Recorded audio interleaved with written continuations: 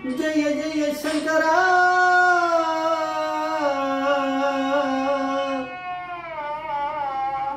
ஹர ஹர சங்கரா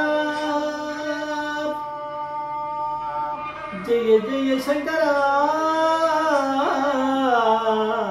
ஹர ஹர சங்கரா ஜெய ஜெய சங்கரா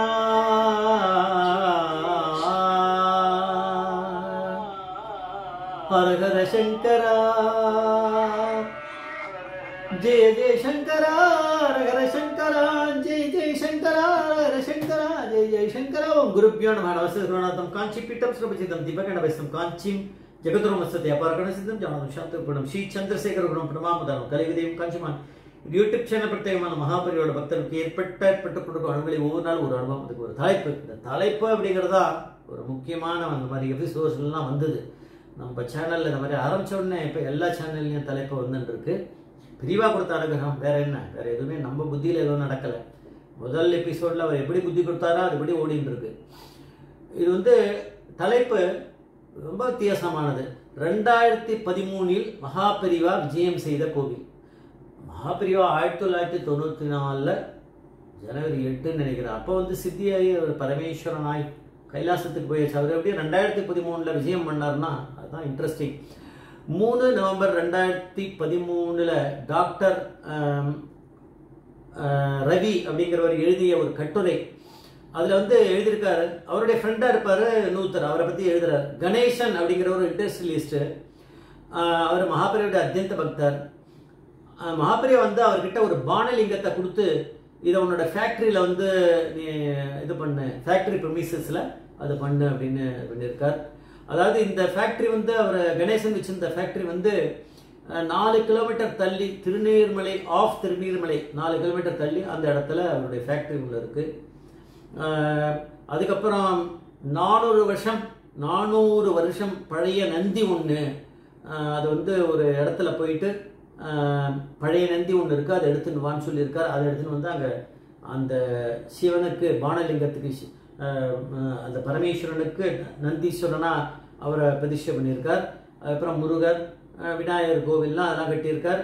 இதெல்லாம் வந்து அவர் கும்பாபிஷேகம் வந்து நம்ம பாலப்பிரிவா வந்து பண்ணியிருக்கா. அவ்வளோ விஷயங்கள் நடந்திருக்கு மகாபிரிவா இருந்த நேரத்தில்.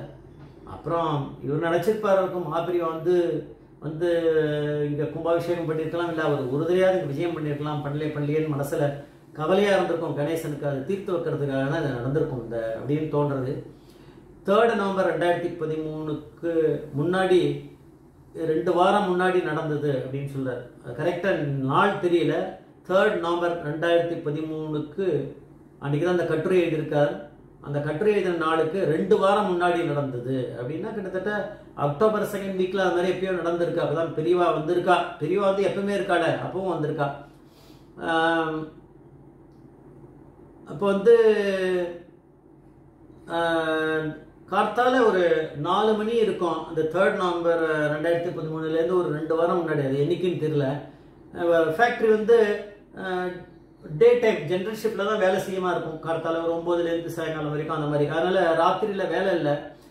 ரெண்டு செக்யூரிட்டி இருப்பாளாம். ஒரு செக்யூரிட்டி கேட்டில் இருப்பார் இன்னொரு செக்யூரிட்டி வந்து ரெஸ்ட்டில் இருப்பார். மாற்றி மாற்றி டேர்னில் இருப்பாளாக இருக்கும். வாசலில் வந்து ஒரு சன்னியாசி நிற்கிறார் நின்ற உடனே இந்த செக்யூரிட்டி வந்து அவருக்கு புது ஆடு அவருக்கு வந்து ஒன்றுமே மகாபெரிவானா எப்படின்னே தெரியாது.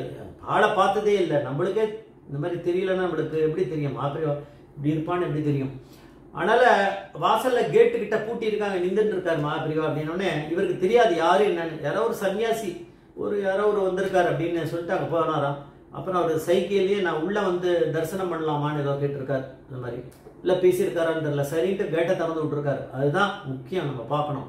செக்யூரிட்டி நான் வந்து ஓனரை கேட்கணும் அதை கேட்கணும்லாம் சொல்லாம பரமேஸ்வரன் கிட்ட அதெல்லாம் பண்ண முடியுமா? வந்துட்டார் உள்ள வந்தார் வந்தவர் பிள்ளையார் முருக முருக விநாயகர் அதுக்கப்புறம் முருகர் அதெல்லாம் தரிசனம் பண்ணி பூஜை பண்ணியிருக்க மாதிரி கையில் வந்து புஷ்பமங்கள் எதுவும் கொண்டு வரல.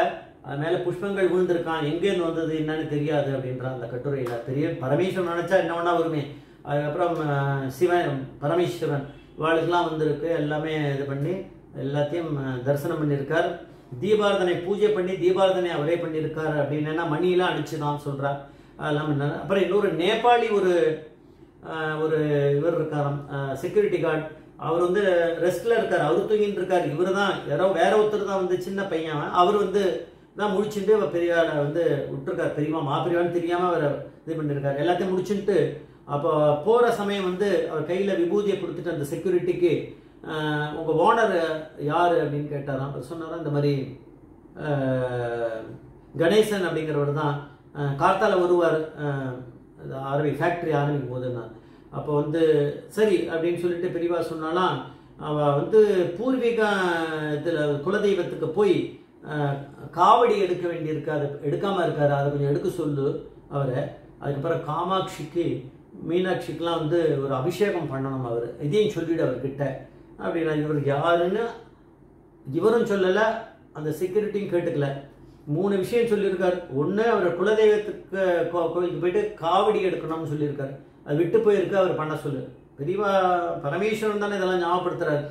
அதுக்கடுத்து காமாட்சி மீனாட்சி. காமாட்சிக்கு இங்கே போனோம். மீனாட்சிக்கு அங்கே போய் மதுரையில் போய் அவர் அபிஷேகம் பண்ணணும் போல இருக்குது இதெல்லாம் பெண்டிங்காக இருக்கும். அவர் வேண்டின்ட்டு பேசாம விட்டுருப்பார். எல்லாமே பரமேஸ்வரனான நம்ம மகாபிரியா தானே அதெல்லாம். அதனால் அவர் ஞாபகப்படுத்திருக்கு அவர் ஞாபகம் இருக்கு நம்மளுக்கு எதுவுமே பண்ணலைன்னு அது சொல்லியிருப்பாராக இருக்கும். அதனால் கிளம்பி போயிட்டார். மகாபிரியா வந்து கிளம்பி போயாச்சு. விபூதி கொடுத்தாச்சு. அதுக்கப்புறம் வந்து அடுத்த நாள் கார்த்தால ஃபேக்ட்ரி ஆரம்பிக்கும் போது அந்த ஓர்டர் வந்தவொடனே இவர் விடாமல் இதை சொல்லணும்ன்ட்டு இந்த செக்யூரிட்டி ரொம்ப இன்ட்ரெஸ்டாக இருந்து சொல்லியிருக்காரு. இந்த மாதிரி நடந்தது. ஒருத்தர் சன்னியாசி வந்தார். அவர் இந்த மாதிரிலாம் பண்ணார். எல்லாத்தையும் சொன்ன அவர் வந்து இங்கே வா அப்படின்னு கூட்டின்னு போயிட்டு ஒரு சன்னதி உள்ளுக்குள்ள பிள்ளையார் சன்னதி அங்கே உள்ளுக்குள்ள ஒரு மாபெரிய அவருடைய ஒரு திருவுருவ படத்தை மாட்டி வச்சிருக்காராம். வந்தவர் இப்படி இருப்பாரா? அப்படின்னு கேட்டிருக்காரு. ஆமாமா இவரே தான். அப்படின்னு அவர் கத்தினாராம். அப்போ மாப்பிரிவா ரெண்டாயிரத்தி பதிமூணில் அந்த ஃபேக்டரிக்கு விஜயம் பண்ணியிருக்கார். ஜெய் ஜெய்சங்கர் ஹரிசங்கர் மகாபிரிய பாதமேச்சரணம் மகாபிரிய பாதமேச்சரணம்